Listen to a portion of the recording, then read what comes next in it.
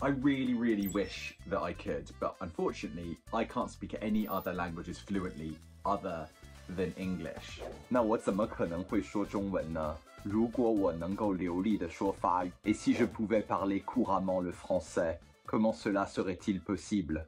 What if I could speak Polish? Chciałbym umieć mówić po polsku.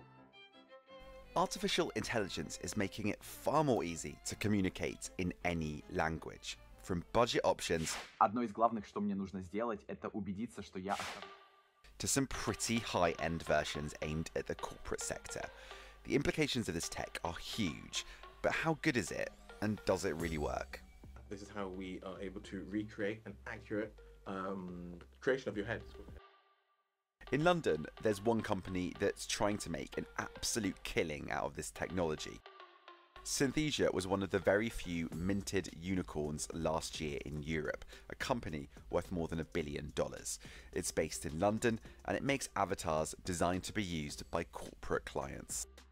But before my avatar is made, the system has to learn what I look like and what I sound like. My name is James Clayton and this video recording... The idea is that you can generate a video of yourself saying anything in any language that can quickly be sent to employees, like a sort of visual email. If you think of TikTok's interface, there's almost no text unless you click on the comment section. You're literally swiping through videos, right? Um, and I think that as video becomes so easy to produce, I think we'll, we'll see that more and more of our online experiences is going to be kind of video first. With my avatar created, I had to play around with it. Creating the video itself is easy. It's like making a PowerPoint presentation. Today, we celebrate World Book Day. Yeah, so that fe that feels to me like what I'm saying. My hand movement is right. Roughly, my facial expression is right. But at the same time, you can still definitely tell that that's an AI generated avatar. But at the same time, is that better than just words on a page? And actually for a lot of people, particularly visual people, considering that that's only taken five minutes, perhaps that is quite useful. I wanted to see what Victor thought of my take. I played around with it and it, it looks like me, but I don't think anyone will be fooled into thinking that it actually was me. What would you say to that? I think you're right. I think by the end of this year, if not before, we'll, we'll definitely get there.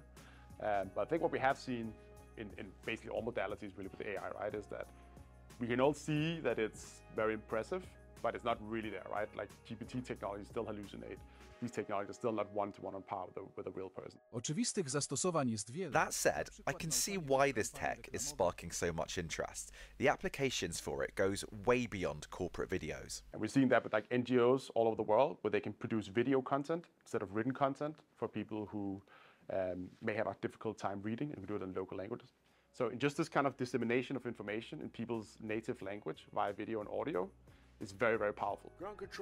As it gets easier and easier to change the words that come out of our mouths, there's also a worry that this kind of technology could increase the amount of misinformation on the internet.